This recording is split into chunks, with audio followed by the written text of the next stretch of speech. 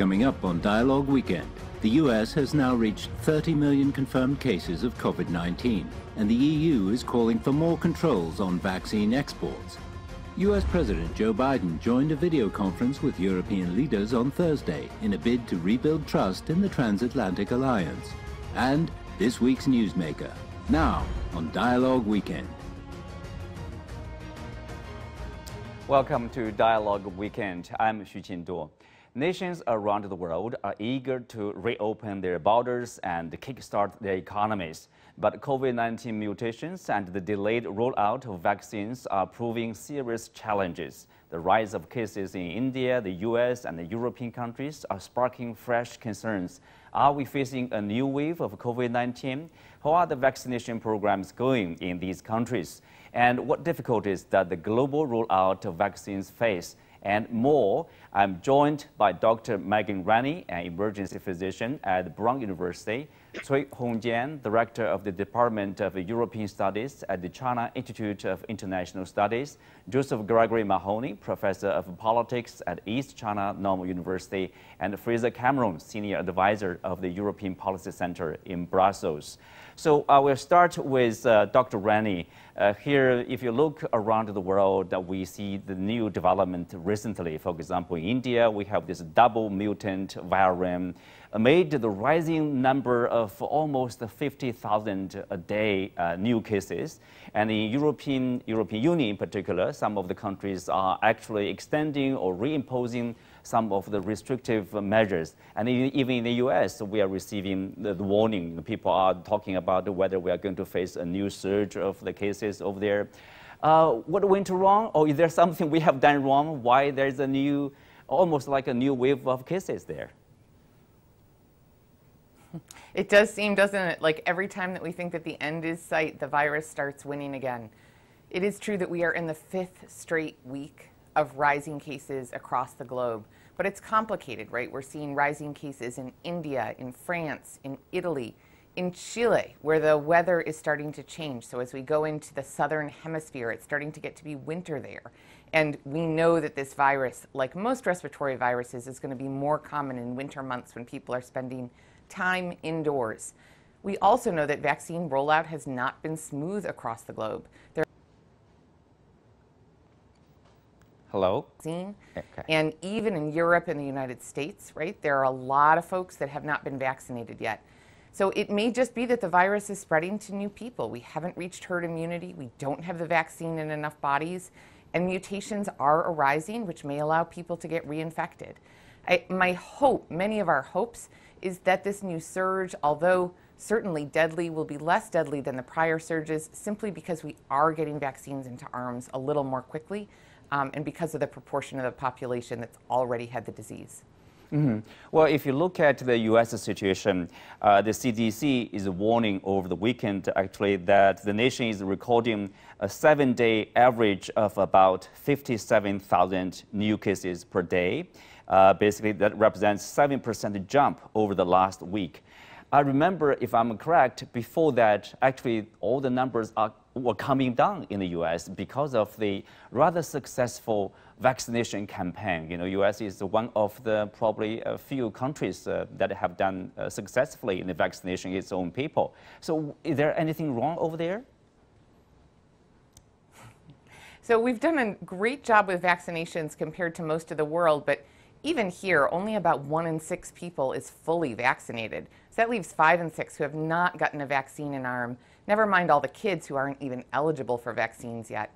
In addition, most of the states are relaxing those public health restrictions. Some states have removed mask mandates altogether. Many are allowing increasing indoor dining, indoor gyms, parties, etc., all the things where we know that COVID spreads. So we're really stuck in this race against the, the vaccine and the virus. And unfortunately, because of these releases, in public health res- restrictions, it makes it easier for the virus to spread among folks who haven't been vaccinated yet. Mm-hmm. Uh, well, Professor Mahoney, uh, you live in the States right now. Uh, you know, I, I, understand the people's frustration. You know, people can't wait to reopen the business. You know, people say, you know, uh, we have been under the lockdown mode for too long time. Now we have the vaccination, you know, increasing number of people being uh, inoculated. You know, it's the time to reopen uh, the state, to reopen the city, the economy. Um, can we blame them? Well, I think it's it's all of these things. Plus, of course, it's it's the springtime, and people, you know, they, they see the nice weather, they're excited to get outside. They're they're they're tired of the long, cold COVID winter. Uh, but I think what we're seeing is is an intersection uh, of of a couple of additional problems. One is that you know we have a, a fair amount of Democratic uh, from the Democratic Party, some triumphalism that uh, you know is, is is assuring people that this problem more or less has been solved and that we're going to move forward with it. And then, of course, we still have conservatives who have always denied it and always resisted any types of social distancing and social control. And then on top of this, we have uh, some mixed messages, right? On the one hand, uh, you know, we, are still telling people that you should continue to social distance, you should continue to mask. But then there's, you know, some messages that come from the CDC and other public health agencies that say that under certain circumstances, you no longer have to do this if, you know, people have uh, been vaccinated or if they've been in certain cir circumstances where they have a lower risk. So I think there's a lot of confusion, there's a lot of angst, there's a lot of desire to move forward, and we are at risk uh, seeing uh, uh a surge as the numbers show uh, across the U.S. And, and particularly in Michigan in the past week. Mm -hmm. uh, we'll shift a little bit to uh, EU, European Union over there. Uh, so, uh, Fraser, uh, you know, we have seen uh, mostly the European countries, a couple of them at least, they are reimposing the or extending the restrictions, and also in Germany's case, you know, um, Chancellor Merkel apologized for you know making the decision probably in too short a period of time, but Easter uh, lockdown over there. But anyway, it gives people the sense of somehow we're still struggling to deal with uh, the virus. Uh, tell us, you know, uh, you know, what's going on and how confident or less confident people are about uh, say next month as you know the weather is getting better and better. Well, it's complicated. I mean, firstly, at the meeting of the European Council on Thursday, they couldn't agree on how to distribute the, the vaccines in Europe. It's supposed to be done on a pro rata base, but some countries are falling behind and wanted more. It's largely to do with distribution problems from AstraZeneca, one of the largest providers. It's also tied up with disputes about how much should be exported and how much should stay in Europe. And of course, in the UK, they have done much better, but they've not exported any of the vaccines. So all of these issues make for a complicated situation, which has now got worse because, as you mentioned, there's been a new outbreak in France, in Germany, in Poland, in Italy, and new restrictions have been brought in, including some restrictions on cross-border travel again. So there's no easy path out of this. I think the restrictions will continue. One has to hope that the better weather will lead to a reduction in infections. But at the moment, it's not a very rosy picture here in Europe. Mm. What about the idea of um, the EU-wide, uh, what do you call it, like a vaccination pass, passport? Yeah. Uh, you know, what, what is, um, how much headway we are making? Well, it's a, it's a, good idea. The European Commission came up with this um, a few weeks ago. They're still working on it. Everyone agrees in principle. It's a question of what are the criteria you use and what are the sort of moral, ethical implications if, if someone, for example, does not uh, refuses to have a, a, vaccine, are they still not allowed to cross a border or go on holiday? So it's, it's quite complicated, but I think they're working on it. And certainly the countries in the south of Europe, very dependent on tourism, are wanting this passport introduced as quickly as possible. Mm -hmm. uh, well, if you uh, move beyond, say, India, US, EU, um, European continent, and to the rest of the world, the developing world mostly, um, the World Health Organization, uh, the, the Director General, uh, Dr. Tedros, uh, has criticized for quite some time uh, vaccine nationalism, you know, inequality of vaccine uh, distribution, calling it uh, grotesque uh, said the situation is increasingly becoming more absurd. Uh, Hong Jian, I want to have your opinion. You know, how can we break out this crisis? How can we try our best to share the vaccines as much as possible? Uh, regarding to this current situation for this vaccine, I mean uh, distribution uh, in worldwide, we can find the, the uh, situation uh, as uh, bad as possible. If we understand that the nature of uh, COVID-19, uh, we, we should end any, I mean, uh, to try to provide any country for vaccines. And also, once there is any country could not uh, stop this uh, uh, tendency. So it's difficult to say that there will be end for the pandemic. So now I think the difficult situation, there are a lot of reasons for that, but we need to do something even starting from now. For example, firstly, it's very uh, extremely necessary for uh, more uh, cooperation on different levels between the institutions, between countries, and even between regions.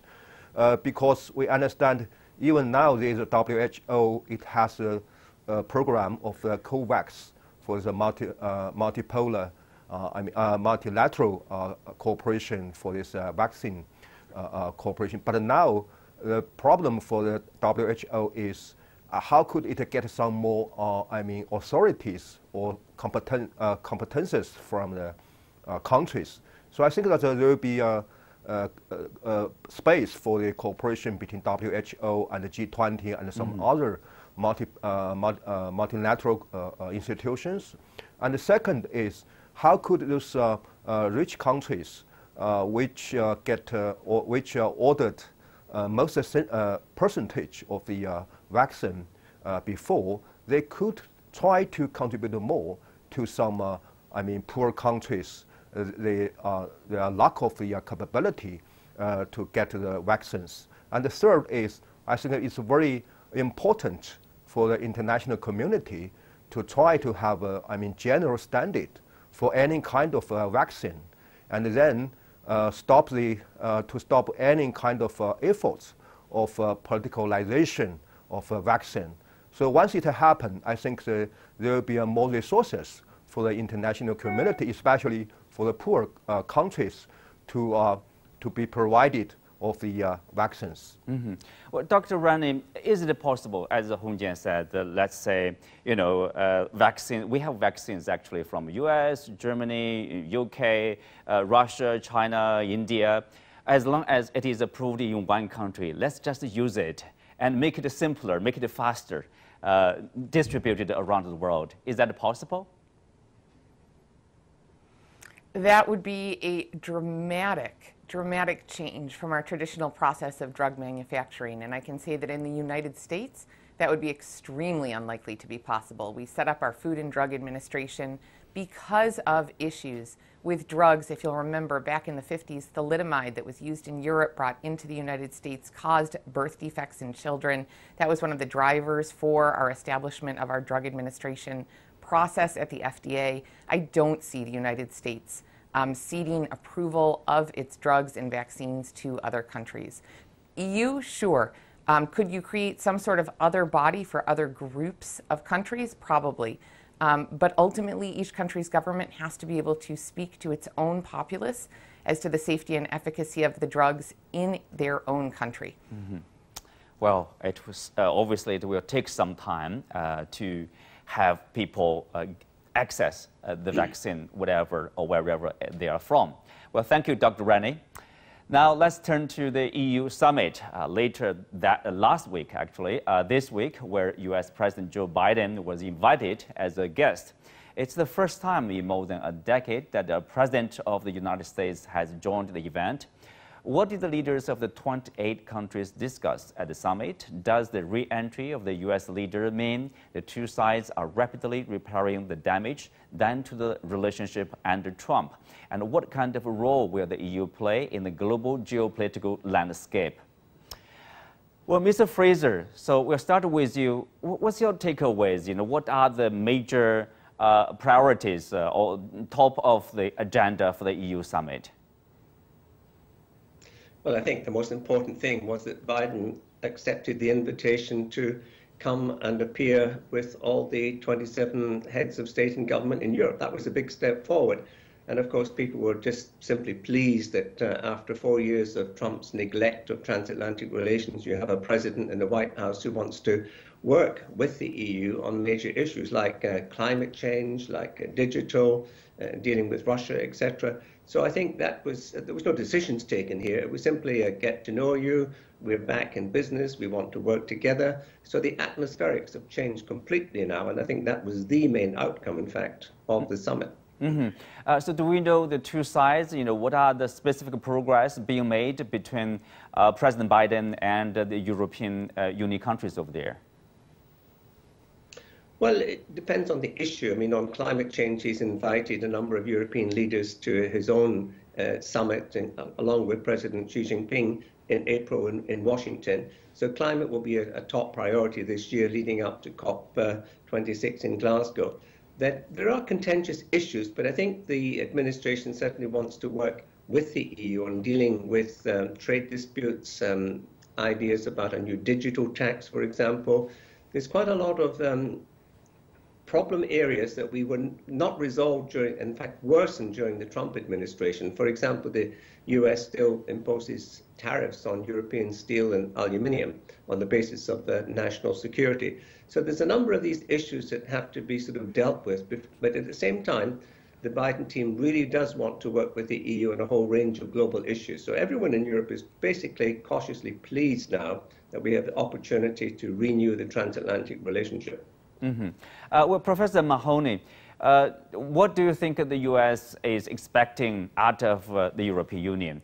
Or, you know, after the summit, uh, do you think the U.S. side gets uh, what they wish for? You know, I think above all, uh, the, the, specter of Trump is, is haunting Europe. And, you know, this creates incredible incentives to work with Biden, particularly as he has extended an olive branch on many fronts, including uh, some of the issues that are that are you know held dear, uh, especially in Europe. Uh, they're they're held dear in, in, many places, but but climate change is is perhaps uh, a bigger, more popular issue in Europe than it is in the United States. So you know these are the sort of issues that uh, Europeans are are very much devoted to, and I think that they're they're willing to go along with some of the more uncomfortable things that Biden might be proposing with respect to Russia and China. Um, in, in, part because they, uh, Europe itself is, is still uh, facing its own uh, COVID surge. It's still dependent on the United States for the most part for, for security. Um, and, you know, uh, they already had the, the difficulty uh, related to Brexit and, uh, as we've seen, the vaccine campaign. So I think Europe is in a very vulnerable position right now. Biden is offering them some leadership. he's talking to some of their core issues. And uh, I think they're going to go along with some of the things that, that they might not otherwise like to go along with because they feel like uh, if they don't, uh, if Biden doesn't succeed, they may have to face Trump or someone like Trump four years down the line. Mm-hmm. Uh, well, Hong Jian, uh, the U.S. clearly wants uh, a united front with the EU on its shared values. You know, at the summit, uh, President Biden spoke about freedom, human rights, and said defending them is the most important battle of the 21st century. Uh, so, what do you make of uh, Biden's message that you know democratic countries, mostly U.S. and European countries, should set the rules of the global order? I think the uh, real meaning for uh, President Biden for this so-called uh, democratic countries union could be a Western countries union, because I think it showed a lot of uh, difference, uh, especially between China and the U.S. on this issue. If we look at what happened in uh, Anchorage recently, I think now, of course, for United States, it tried to take use of the concept of the uh, democracy and try to, uh, you know, uh, create a kind of conflict between so-called Western democratic countries and the other.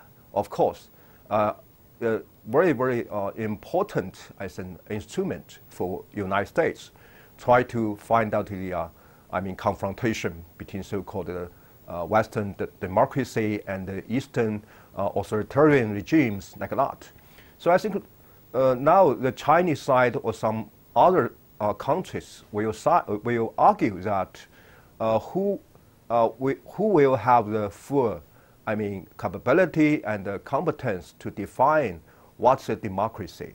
And uh, Mr. Biden uh, mentioned that freedom and also uh, uh, human rights and everything.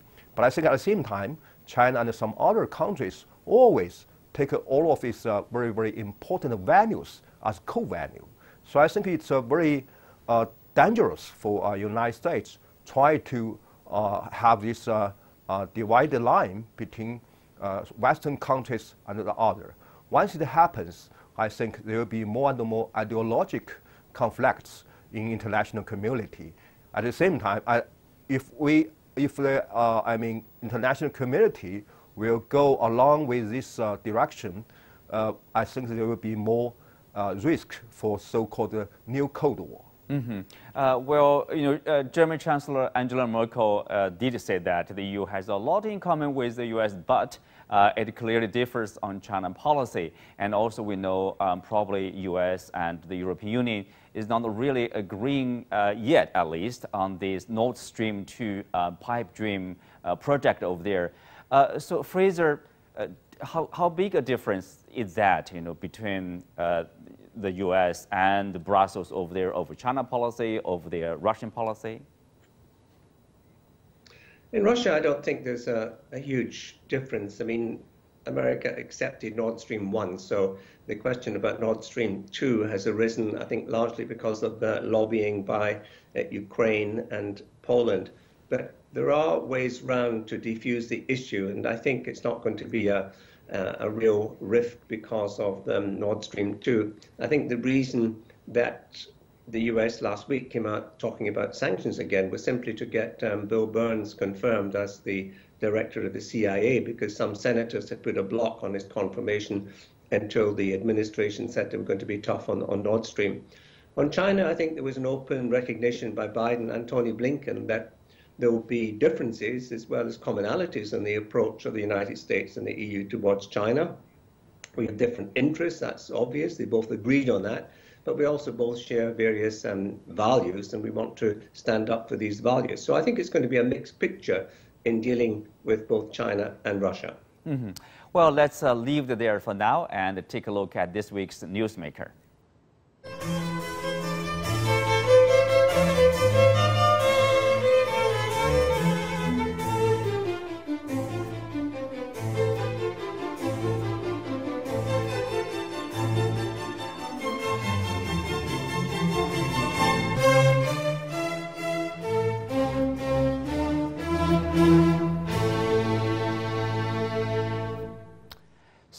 Cotton is at the core of the international disputes. Uh, Professor Mahoney, you know, H&M, Nike, Adidas, and other foreign brands have boycotted Xinjiang cotton. Uh, this has caused a blowback on the Chinese internet, the social media over there in particular. So why is Xinjiang cotton suddenly being boycotted by you know these foreign companies, and then there's a blowback from the Chinese side?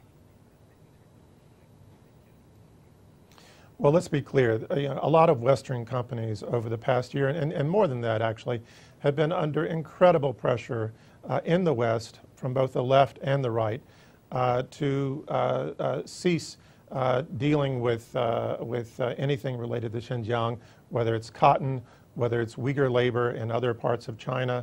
Uh, and in fact, we should, we should be honest and say that, that a lot of Western companies have been encouraged to decouple from China altogether. And so given you know, the hysteria that we've seen in the Western media and from some Western leaders over Xinjiang, it's not surprising that, the, that this was sort of the breaking point for some of these companies. But let's also be clear that you know, we're, we're looking at H&M, which has a long history as, as a leader in the fast fashion industry, of being a tremendous uh, contributor to the exploitation of labor worldwide. Uh, and, and the worst examples are not in, in China um, and being a significant contributor to pollution. And with, in, in the case of uh, Nike, you know, we have a, a CEO who signed, uh, who, who, signed and started with Nike in 2019 with a $45 million signing bonus. Uh, last year, his compensation was 53 million. Uh, the, the executive board across, uh, across all the senior positions, they saw increases in their salary of 20 to 40 percent in a year when a lot of people, a lot of Americans, a lot of people around the world were suffering. So I think the idea that these companies are in some way, uh, you know, uh, the answer to social justice or that they can occupy a moral high ground is laughable. Mm -hmm. Well, I mean, uh, Professor, you have been in China for quite uh, some years. You understand the Chinese situation problem much better than many, many people in the West. Uh, uh we know, you know, some of the allegation, for example, forced labor. Uh, in Xinjiang, uh, the cotton basically is picked, 70% of them is picked by by machines, not by human beings. And also, if you look at the other parts of the allegation, uh, so-called uh, you know, young people from Xinjiang area were transferred to the eastern part of China, more developed, rich regions to work over there.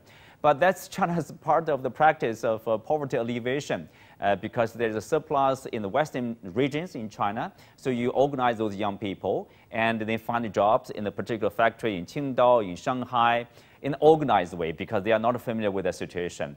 Not exactly forced labor. Uh, so is that part of the misunderstanding over there or mis, uh, you know, misconception? I think it's part of it, but to, to, be, to be again clear, there is, there is sort of a feeding frenzy, a hysteria that's been promoted. It, it started under the Trump administration with Pompeo, uh, these claims of, uh, these false claims of genocide that have been again repeated by Blinken. Uh, and uh, we've seen this uh, accelerating in ways that have just created this whole toxic narrative so that anything now related to Xinjiang, anything related to China, is in some way evil. And I think it's really, really uh, damaging because, you know, ultimately, if you really care about the people of Xinjiang, if you really care about uh, uh their progress and their economy, you shouldn't start penalizing them and blaming them for things, even if you believe that those uh, allegations are true. Good point. Uh, uh, well, Hongjian over there, you know, uh, another actually organization involved in involved in this you know, big dispute is the Better Cotton Initiative or BCI. its China office says no forced labor has been found in Xinjiang over the past eight years. Uh, but the government pressure in Washington and the UK has forced some of the companies to make a choice or to choose a side, let's say. Uh, do you see any evidence in all of those uh, allegations over there? So far, I think there are a lot of the uh, I mean, confusions of the uh, informations and even some uh, disinformation. if we look at the original I mean, situation is, undoubtedly, this kind of issue of uh, cotton in Xinjiang could be originated uh, to uh, Trump administration. In last year, it has so-called the rule to you know, boycott the cotton from Xinjiang. And of course, and then there are some uh, uh, discussion about the BCI, just like you mentioned, the institute, and also the consumers and the sellers from some uh, Western countries. So now there are a lot of, I mean, confusion of information. But now I think that uh, we need to try to make clear what's the real uh, situation, what's the truth. even now, the BCI announced that uh, it uh, uh, has not taken any action uh, against the cotton from Xinjiang. But we need to understand what's the relations between some countries, especially governments, and, and those sailors and also producers in Western countries like H&M and also some other, I mean, very, very popular brand in Chinese market. So I think now uh, the question is, once there are some more and more tools, more and more and the, I mean, uh, information uh, provided, I think now it will be clear that uh, uh, it's very uh, difficult for the United States or for, for any other governments try to, I mean, fight against with China uh, by taking use of the issue of uh, uh, cotton in Xinjiang. As we know that no matter what's the big market in China and a very, very big interest for these mm -hmm. sellers and producers from other countries, and also well, at the same time, I think that uh, we are running we out of time. Thank you, yes. Hong Jian. Well, with that, we are coming to the end of today's show. Many thanks to our guests. You can also watch us on the CGTN app on YouTube. I'm Xu Qinduo. Thank you for watching. See you next week.